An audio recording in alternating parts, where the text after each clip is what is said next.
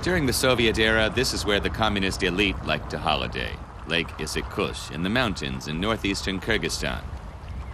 After the collapse of the Soviet Union, the country was keen to reinvent itself as the Switzerland of Central Asia.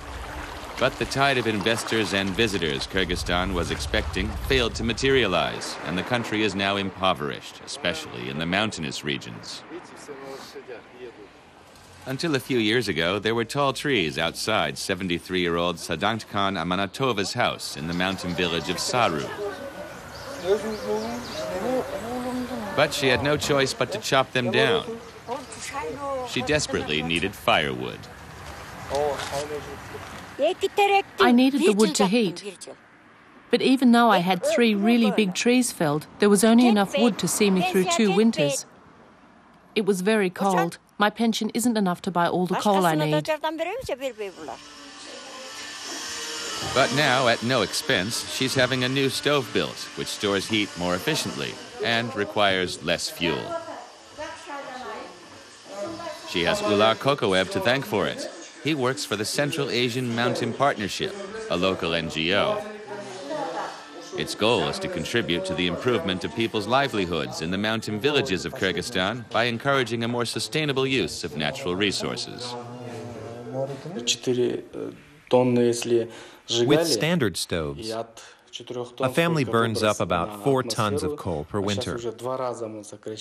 But the energy efficient stoves reduce this by about half, and that cuts pollutant emission by about half too.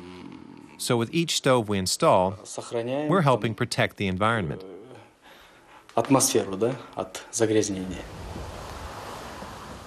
Locals in the village of Saru depend on farming for their livelihoods. The village's main problem is the price of energy, which rises every year. These days, it eats up about 50% of their modest family budgets. That's why Ular Kokoev's aid organization organizes seminars for local craftsmen who spend two weeks learning how to build the new energy saving stoves.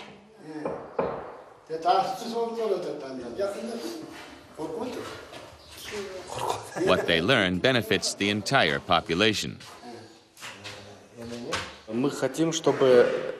We give poor people all the stoves built during the course. We want them to see how much money they can save with the new stoves. Local village authorities help us identify the neediest families.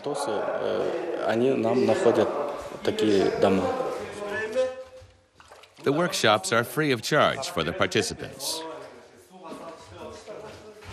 The aid organization even covers the cost of food and accommodation. The workshops offer the men an opportunity to gain new skills.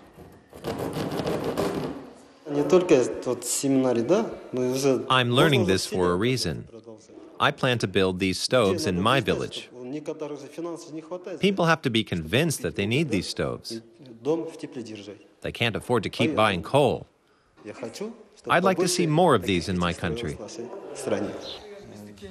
Classes are given on the principles of energy saving and the concept behind the stoves, which were originally designed in Germany.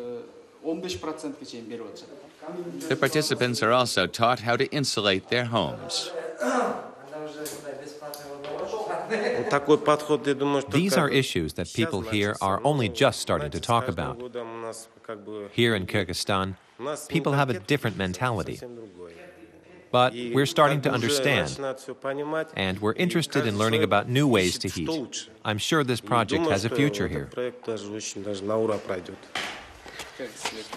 Ular's organization has also established a local micro loan network that allows even more families to replace their old stoves.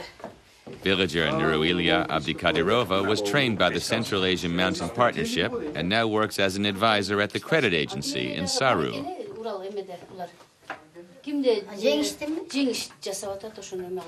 When her neighbors apply for a micro loan, she can help with the paperwork.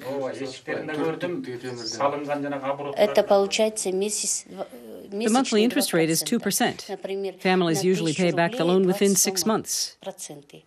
We calculated how much a stove costs, and it's between 10,000 and 11,000 Kyrgyz som. That's about 200 euros. For many villagers, a month's income. The Kurmanov family would like to take out a loan. Since a ton of coal costs 100 euros, their investment will have paid off after just one winter. After the meeting, seminar leader Ular Kokoev heads off to the neighboring village, which is a good 60 kilometers away. He led a course here last year. Back then, two stoves were donated to 65 year old widow Alia Gulyai one for cooking and one for heating. Ular tells us that the reason why Kyrgyzstan and other former Soviet republics are only now starting to think about energy matters is closely tied to their history. In the Soviet era, people just filled out a form or went to the collective director and said they needed more coal. Then they'd get it, usually at no expense. So in the past, people were provided with coal by the Communist Party.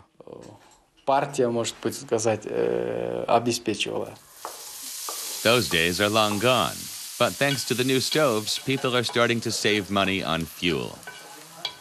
They're also a lot warmer in winter. More and more villagers are realizing that this concept makes sense.